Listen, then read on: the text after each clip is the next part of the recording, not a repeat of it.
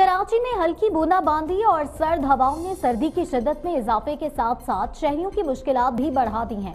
दूसरी जानब, महकमा मौसमियात ने आइंदा 24 घंटों के दौरान कराची में बतला जुजवी अबर आलूद रहने की पेशगोई कर दी है।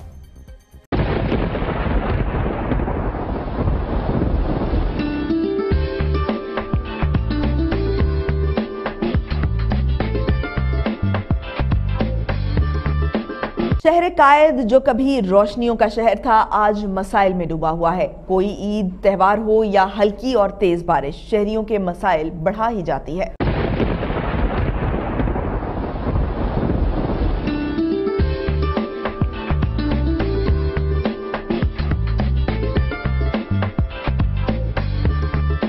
कराची में बेशतर मकाम पर। रिमझिम से सर्दी की शिद्दत में इजाफा हो गया तो दूसरी जानब सर्द हवाओं ने खुनकी को मजीद बढ़ा दिया, जिसके बायस शहरियों के मामूलत ज़िंदगी मुतासर हो गए। उधर महकमा मौसमियात ने आइंदा 24 घंटों के दौरान मतला जुजवी अबर आलूद रहने की पेशगोई कर दी।